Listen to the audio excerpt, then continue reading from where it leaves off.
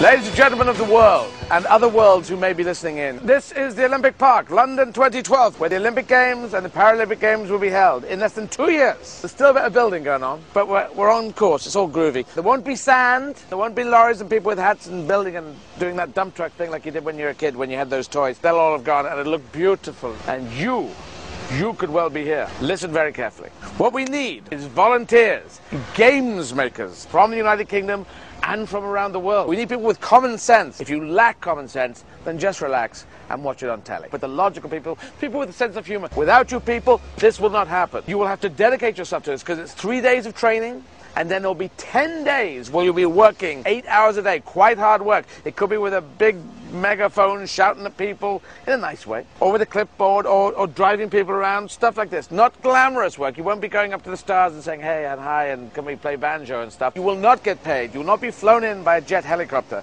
That sort of stuff is not going to happen. You will be given food and water, orange juice probably, barley water, I don't know. But you will be part of the greatest show on earth. So if you want to be here, to be a games maker, fill out the application form and apply from now until October the 27th, not after the 27th. Then it will not happen. I will be here. Will you be here?